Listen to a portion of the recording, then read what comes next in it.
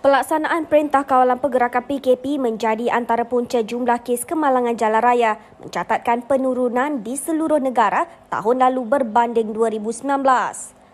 Pengarah Jabatan Siasatan dan Penguatkuasaan Trafik GSPT Bukit Aman, Dato' Azizman Alias berkata, pihaknya merekodkan 418,237 dan 567,516 kes kemalangan masing-masing pada 2020 dan 2019. Uh, dalam empat tahun kebelakangan ni ini ini rekod lah rekod rasmi yang yang kita catatkan.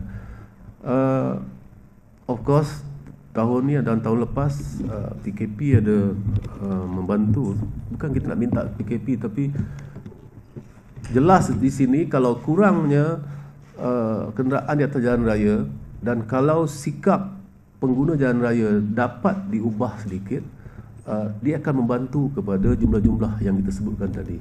Kita hendak netizen atau masyarakat memainkan peranan di sini.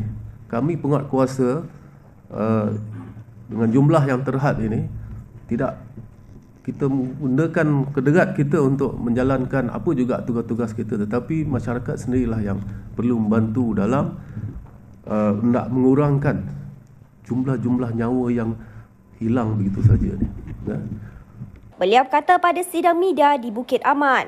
Dalam perkembangan sama, Azizman berkata pengguna motosikal menjadi penyumbang terbanyak kepada jumlah kematian akibat kemalangan di jalan raya tahun lalu dengan 3,118 kes.